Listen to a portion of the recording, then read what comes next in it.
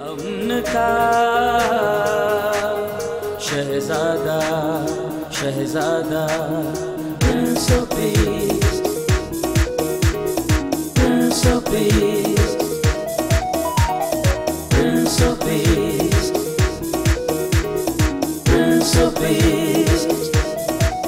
PMI television देखने वाले नाजरीन की खिदमत में बहुत बहुत सलाम। हम आपको वेलकम करते हैं प्रोग्राम प्रिंस ऑफ़ पीस में।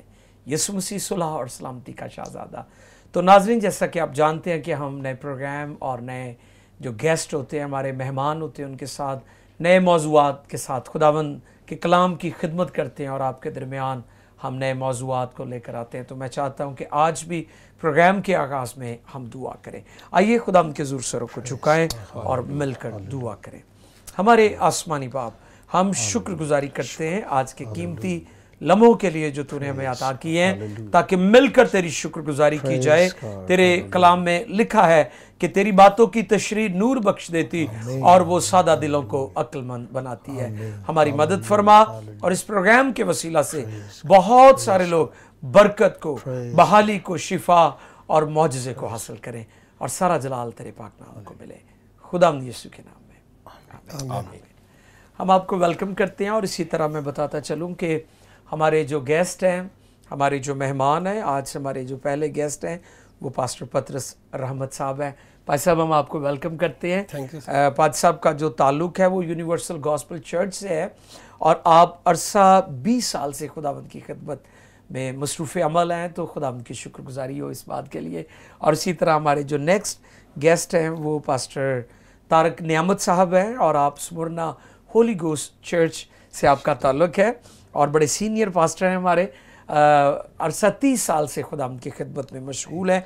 और हमारे तीसरे गेस्ट हरदिल अज़ीज़ प्यारे भाई पास्टर सरफराज साहब हैं। इनका ताल्लुक पी एम आई चर्च चार चक राम द्वाली से है। तो भाई साहब हम आपको भी वेलकम करते हैं so much, इस प्रोग्राम में प्रिंस ऑफ़ पीस में।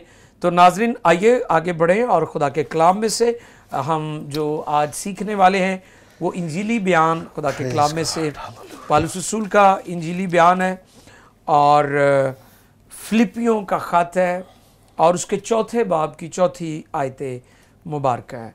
तो पास्टर पत्रस रहमत साहब जो है हमारे लिए कलाम के हिस्से को पढ़ेंगे। जी बात साहब। कलाम खुदा में लिखा है खुदावन में हर वक्त खुश रहो फिर कहता हूँ कि खुश रहो। आमीन।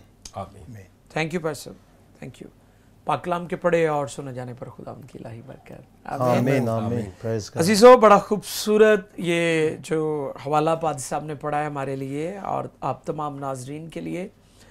लिखा है कि खुदावंद में हर वक्त खुश रहो। खुशी की बात की गई है।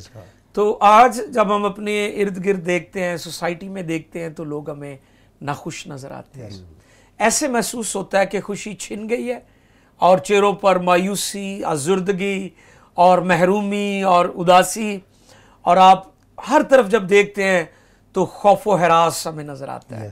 प्रिंटेड मीडिया को देख लें इलेक्ट्रॉनिक मीडिया को देख लें तो नाजरीन जब हम इन सारे हालात को देखते हैं तो इंसान बहुत ज़्यादा परेशान होता है कि कब खुशी आएगी। लेकिन इंजील हमें बताती है कि हमें खुशी हासिल हो सकती है। खुशी हमें मिल सकती है। बल्कि कलाम फरमाता है कि ईमानदार की ज़िंदगी का आगाज़ ही खुशी से होता है। कलाम में लिखा है कि एक औरत जिसका दिनार गुम हो जाता है और वो चिराग जलाकर उसको पलंग के नीचे ढूंढती है और जब मिल जाता है तो फिर अपनी सहेलियों को बुलाती है और फिर जश्न मनाती है खुशी करती है कि मेरा खोया हुआ दिनार जो था वो मुझे मिल गया। तो कलाम फरमाता है कि इसी तरह जब एक शख्स ज़मीन पर तौबा करता है तो तौबा करने के बायस आसमान पर बहुत ज़्यादा खुशी खुशी होती है। तो इससे मुराद ये है कि ईमानदार की ज़िंदगी का आगाज़ खुशी से होता है। ईमानदार की ज़िंदगी की बुनियाद जो है वो खुशी है और इस पर वो तामीर होता है। आज हम अपने मोजस मेहमानों से सीखेंगे कि किस तरह हमारी ज़िंदगी में हकीकी खुशी आ सकती है। तो जी पादी साहब पास्टर पत्र साहब आप हमारे नाजरीन की रहनमाई फरमाएँ जो आज खुदा के कलाम में से हमने पढ़ा है। उस हवाले से। सबसे पहले मैं P M I T V channel का और पादरी खालिद अमनाज का बेहद शुक्रगुजार हूँ कि खुदावंद ने अपने सूरमा को अपने ज़बरदस्त खादम को पाकिस्तान के अंदर रखा है ताकि पाकिस्तान में अंजील की रोशनी हर एक तक पहुँच सके और हर एक शख्स यसु मसीह को अपना शख्सी नजात दहिंदा कबूल कर सके। मैं पीएमआई की सारी टीम के लिए खुदावंद का शुक्र अदा करता हूँ कि खुदावंद ने ये पॉसिबल किया कि पीएमआई टीवी बहुत अच्छा काम कर रहा है और ये सारा जलाल खुदा के बेटे God, नाजरीन आज हम कलाम मुकद्दस की जिस आयत पर गौर व खौज करेंगे यहाँ पर मर्द खुदा पलूस खुदा की तय की बात को हम पर जाहर करता है। वो लिखता है कि खुदावन में हर वक्त खुश रहो फिर कहता हूँ कि खुश रहो। खुदा की मर्ज़ी हमारे लिए ये है कि हम हर वक्त खुश, खुश रहें। जहाँ तक लफज मर्ज़ी का मीनिंग है तो मर्ज़ी राज़ी से निकला है। इसका मतलब है कि जब हम खुश होते हैं तो खुदा खुश होता है। राज़ी हमारी। खुशी में खुदा की खुशी है। खुदा चाहता है कि हम खुश रहें। और इस दुनिया में रहते हुए जैसे पादरी साहब ने बड़ा खूबसूरत बयान किया कि ऐसा लगता है जैसे खुशी गुम हो गई है खो गई है। दुनिया की खुशी के लिए आम तौर पर इंग्लिश का एक वर्ड इस्तेमाल होता है हैप्पी। इसका जो मादा है ना वो हैप है जिससे हैप्पीनेस या हैपनिंग निकला है और इसका एक मतलब चांस भी है। यानी दुनिया की खुशी का ताल्लुक चांस। चांस के साथ है। चांस लग गया तो खुश हो गए।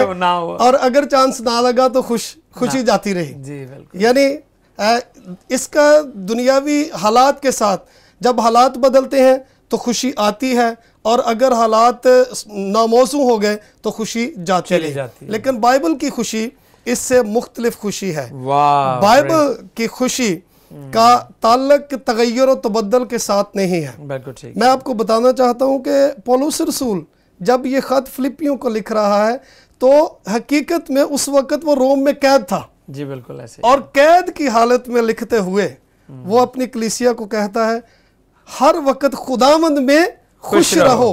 फिर कहता हूँ खुश रहो। यानी ये ऐसी खुशी है जो पॉल को जेल में भी कैद में भी हासिल थी। वाह और ये ऐसी खुशी है जो पत्रस को जेल में हासिल थी। बहुत अच्छे। ये ऐसी खुशी है जो अयूब को जब उसके सारे बेटे और बेटियाँ मर गए सारा कुछ जाता रहा लेकिन उसको हासिल थी। वाह। इस खुशी का ताल्लुक मौसमों के साथ नहीं है हालात के साथ नहीं है बल्कि ये ऐसी खुशी है जिस खुशी को देने के लिए खुदावंद यसु इस दुनिया में आए और यीशु ने पता क्या कहा? चोर नहीं आता मगर चुराने मार डालने और हलाक करने को। लेकिन मैं इसलिए आया हूँ ताकि तुम ज़िंदगी पाओ और कसरत की ज़िंदगी। ऐसी ज़िंदगी जो खुशी से भरपूर ज़िंदगी है। और ये भी मैं आपके सामने रखना चाहता हूँ कि रूहुल कुद्दस का फल जो है उसमें खुशी का खास तौर पर ज़िक्र है? है, और मोहब्बत के बाद खुशी है। सो आपकी ज़िंदगी में खुदा की ये ख़ास मर्ज़ी है कि आप खुश रहें। और ये सीजनल नहीं है। ये दिन में एक बार नहीं है बल्कि यहाँ पर लिखा है हर वक्त खुश रहो। हर वक्त खुश रहने की बात है। और ज़रूरी है कि हम दुनिया में नहीं। ज़बूर की किताब में जब हम पढ़ते हैं तो वहाँ लिखा है खुदावंद में मसरूर रहे तो वो तेरे दिल की मुरादें पूरी करेगा। यानी खुदावंद में खुश रहना है। दुनिया और उसकी चीज़ों में हमने अपनी खुशी को तलाश नहीं करना बल्कि मसीह के कलाम में और क्रिश्चियन लाइफ में हमने अपनी खुशी को पूरा करना है। ताकि हम खुदा को खुश कर सकें क्योंकि हमने सीखा है कि जब हम खुश होते हैं तो हमारा खुदा खुश होता है। क्योंकि हमारे हमारा और खुदा का एक बड़ा ख़ास ताल्लुक है और वो ताल्लुक बाप और बेटे का है। और मैं आपको ये भी बताना चाहता हूँ अगर बेटे ना खुश हो तो बाप कभी खुश नहीं हो सकता। बाप उस वक्त खुश होता है जब जब, उसके बच्चे खुश होते हैं। वाह प्रेज प्रेज बहुत अच्छे पास्टर पत्रस साहब बहुत खूबसूरत गुफ्तगू कर रहे हैं। और जो सबसे खूबसूरत बात मुझे लगी वो ये कि जो ईमानदार के अंदर खुशी है इसका ताल्लुक मादी चीज़ों से। मादी चीज़ों से कई लोगों को चीज़ें हासिल हो जाए तो वो खुश होते हैं। लिबास मिल जाए खुराक मिल जाए घर मिल जाए नौकरी मिल जाए लॉटरी निकल आए वीज़ा लग जाए तो लोग खुश होते हैं। ना लगे तो लोग नाराज़ नाराज़ होते हैं। हैं। लेकिन जो ईमानदार के अंदर खुशी है इसका ताल्लुक इन चीज़ों से नहीं है। नहीं है। वो जिस भी हाल में हो जैसे पालूस रसूल कैद खाना की हालत में थे और जब हम इसके बारे में और गहरे तौर पर देखते हैं हिस्ट्री में तो पालूस रसूल जो है जेर ज़मीन कैद खाना था yes, जहाँ पर yes. और 24 घंटों में उनको एक दफ़ा नान एक नान और साथ सादा पानी का प्याला दिया जाता था तो इस हालत में भी पालूस रसूल ने ये पैगाम दिया है कि हमें खुश खुश रहना है। ताकि चर्च। कलीसिया जब हम कई दफ़ा इजार सानी में से गुजरते हैं प्रोसिक्यूशन का सामना करते हैं मुश्किल में से गुजरते हैं। जब हमारे अपने ही हमारे खिलाफ खड़े गैरों से हमें क्या शिकवा? कई दफ़ा अपने ही हमें दुख देते हैं। तो उन सारे हालात में एक चीज़ है जो हमें संभालती और खुशी देती है वो हमारा खुदा है। और जैसा कि पास्टर पत्रस ने खूबसूरत बात की कि जो खुशी है ये रूह का फल भी है। और जब रुल कुछ हमारी ज़िंदगी में होगा तो फिर हम खुश हो सकेंगे। तो फिर हम खुश हो सकते हैं। कई लोगों को देखा है क्योंकि वो रुल कुछ से खाली हैं ना वाकिफ हैं या रुल कुछ से बैप्टाइज नहीं है। रुल कुछ का बपतिस्मा नहीं उनका हुआ तो उनको भी आप देखेंगे उनके चेहरे बड़े करख्त होते हैं। यस उनके चेहरे बड़े मायूस होते हैं गुस्से से भरे रहते हैं और बड़े एग्रेसिव वो आपको नज़र आएँगे। तो मेरे चीज़ों आज हम सीख रहे हैं खुदा के कलाम में से कि खुशी जो है ये रूह का फल फल है है। तो हमारे जो नेक्स्ट मेहमान हैं गेस्ट हैं वो पास्टर तारक नियामत साहब हैं। पाद साहब बड़े अरसा से तीन दिहाइयों से खुदा की खिदमत कर रहे हैं और बड़ी वफादारी से जाँ फिशानी से। जी भाई साहब आप इस खुशी के बारे में जो खुदा के कलाम में से हम सुन रहे हैं सीख रहे हैं क्या फरमाते हैं? सबसे पहले मैं मसीह यसु में खुदा बाप यहवा का जो यहवा यरी है जो सब कुछ मुहैया करता है जिसने रूहल कुदस हमें खुदावंद यसु मसीह के वसीला से अदा किया और वो हमें खुशियों के लम्हों से भर देता है। और मैं शुक्र गुज़ार हूँ कि जो खुदावंद ने हमें ये एक बहुत बड़ा सेटअप दिया है। जो पी एम आई के नाम से खुदा ने हमें बख्शा है और इसका नाम ही है कि यसु मसीह सुलह और सलामती का बादशाह है। और मुझे बात याद आ रही है कि बुज़ुर्ग यसाया के सहीफा पाक में लिखा है अगर तुम फर्मा बरदार रहो और राज़ी भी हो तो तुम ज़मीन के अच्छे अच्छे फल खाओगे। हालेलुया। अगर तुम राज़ी ना हो और फर्मा बरदार भी ना हो तो फिर तलवार के लुकमा हो जाओगे। जी बिल्कुल। हम शुक्रगुजार हैं कि खुदा बाप ने खुदा यसु मसीह के वसीला से हमसे मेल मिलाप कर लिया हमसे सुलह कर ली और आज इसका पैगाम है कि इस चैनल के ज़रिया से लोगों को सुलह का पैगाम दिया जा रहा है लोगों को खुशी का पैगाम दिया जा रहा है। जहाँ खुदावंद यसु मसीह होता है वहाँ खुशी ही खुशी होती है। और मेरा दिल इस बात से इंतहाई शुक्रगुजारी से भरा है कि खुदा बाप जो है वो ये चाहता है कि हम हर वक्त खुश रहें। इसीलिए उसने अपने प्यारे इकलौते बेटे को भेजा और उसने हमसे ऐसी मोहब्बत रखी कि अपना जो बेटा बख्शा है और बेटे ने भी हमसे ऐसी मोहब्बत रखी कि अपनी जान जो है वो हमारे लिए दे दी है और ये फरमाया है कि मेरी खुशी तुम में पूरी हो। वाह। और आज ये खुशी पूरी हो रही है। हालेलुया। हालेलुया। और मैं देख रहा हूँ कि तकरीबन तीस साल पीछे के खुदावंद में जब पर साहब आप मसीह यसु में हुक्म देते थे कि आए हम चाहते हैं कि ये खुदा का कलाम दूसरों तक भी पहुँचे। और मैं सोचता हूँ कि कलाम अकदस का वो हिस्सा कि तुम एक दूसरे के ताबे रहो। और आप जानते हैं कि मैं किस तरह भागे आता था। और मैं आज खुदावंद में शुक्रगुजार हूँ। और सर आपके लिए भी शुक्रगुजार हूँ पूरी टीम के लिए कि आज मैं वो खुशी का फल शुक्रगुजारी का फल जो है वो मैं हासिल कर रहा हूँ और मेरी रूह जो है और वो ताजगी पा रही है और मेरा बदन भी उसके साथ ताज़ा हो रहा है और हम सब ताजगी पा रहे हैं। क्योंकि. मुकद्दस पलूस रसूल यही कहते हैं। खुशी का जो लफज है जैसे पाल साहब ने बताया और ये है कि जब हम खुश होते हैं तो इसका जो मतलब है कि सरसब्ज होना तरोताज़ा होना। बिल्कुल बिल्कुल। और इसका दूसरा मतलब है कि पानी से भरे रहना। वाह। और वो नाला पानी से सूख गया था जि- जिस जगह से बुज़ुर्ग एलिया पीते थे। लेकिन हमारा जो खुदावंद यसु मसीह है जो ज़िंदगी का सर चश्मा है जो ज़िंदगी का पानी है जिसने रूहल कुदस दिया है जो पानी से भी तशबी है वो कभी कम नहीं होता और वो हमें तरोताजा रखता है। और है। जिस शख्स के अंदर आ जाए वाह।